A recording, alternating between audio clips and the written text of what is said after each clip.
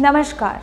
खबर एक्सप्रेस में आप सभी का स्वागत है। मैं हूँ आपके साथ पम्मी सिंह और आइए करते हैं खबरों की शुरुआत। लेकिन सबसे पहले नज़र डालेंगे राज्य की खबरों की ओर। दिवाली से पहले यानी 23 से 24 अक्टूबर तक कोलकाता सहित दक्षिण बंगाल के जिलों में लगातार बारिश हो सकती है। अलीपुर मौसम विभाग की तरफ़ से मिली जानकारी के मुताबिक शनिवार को बंगाल की खाड़ी में चक्रवात के बनने की संभावना है। मौसम कार्यालय के अनुसार यह चक्रवात 22 अक्टूबर को पश्चिम मध्य बंगाल की खाड़ी में बन सकता है। हालाँकि इस चक्रवात के सुपर साइक्लोन बनने की कोई संभावना नहीं है।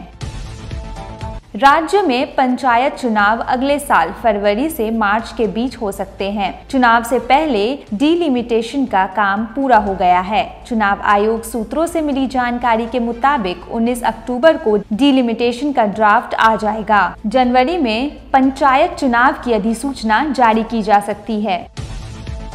राजधानी कोलकाता के तोपसिया के रबर फैक्ट्री में बुधवार को भीषण आग लग गई थी।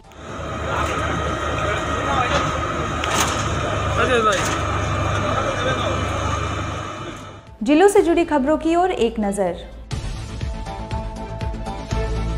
सीबीआई ने बीरभूम बगतोई मामले में तृणमूल कांग्रेस के उपाध्यक्ष भादु शेख की हत्या के मामले में एक और आरोपी को गिरफ़्तार किया है।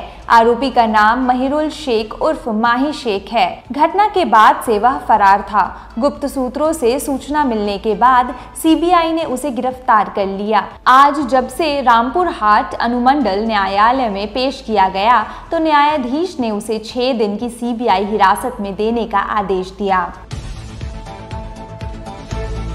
गौ तस्करी मामले की जाँच कर रहे सीबीआई के अधिकारी मंगलवार को अनुव्रत मंडल की बहन शिवानी घोष के घर पूछताछ करने व अन्य जानकारी के लिए पहुँच गए। एक महिला अधिकारी के साथ पहुँचे सीबीआई के अधिकारियों के दल ने शिवानी घोष से लगभग दो घंटे तक पूछताछ की। इस दौरान सीबीआई के अधिकारियों ने उनके घर में तलाशी अभियान भी चलाया। देश विदेश से जुड़ी खबर की ओर एक नज़र।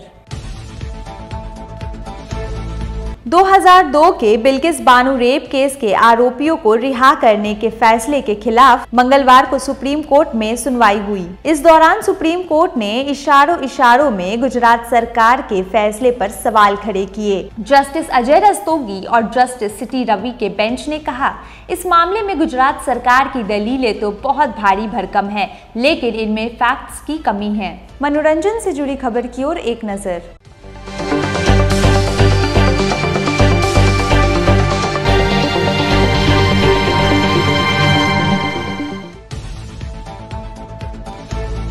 अक्षय कुमार की much awaited film Ram Setu जल्द ही रिलीज़ होने वाली है। फ़िल्म में अक्षय कुमार के अलावा जैकलिन फर्नांडिस और नुसरत भरूचा अहम किरदारों में है। राम सेतु की टीम जोरों शोरों से फ़िल्म के प्रमोशन में जुट गई है। इस बीच नुसरत भरूचा को स्पॉट किया गया, जिसका एक वीडियो सामने आया है। आइए जानते हैं मौसम का हाल। महानगर का अधिकतम तापमान 32 डिग्री सेल्सियस है तथा न्यूनतम तापमान 24 डिग्री सेल्सियस है। अन्य खबरों की विस्तृत जानकारी के लिए देखते रहिए खबर एक्सप्रेस। तब तक के लिए फ़िलहाल इतना ही। नमस्कार।